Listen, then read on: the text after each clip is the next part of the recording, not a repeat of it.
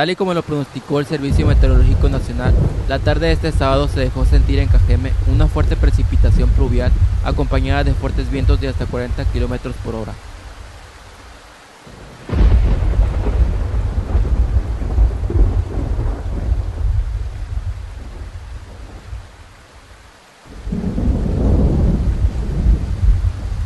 Se reportaron inundaciones de varias calles, así como fueron derribados algunos árboles y anuncios. Incluso en algunas colonias de la ciudad se registró la caída de granizo y del área rural.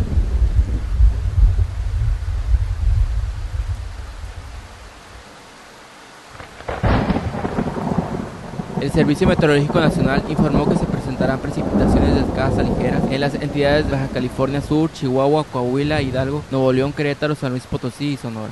Para el sur del estado se prevén lluvias acompañadas de temperaturas muy calurosas de hasta 40 grados centígrados y vientos de 25 a 40 kilómetros por hora con fuerte racha.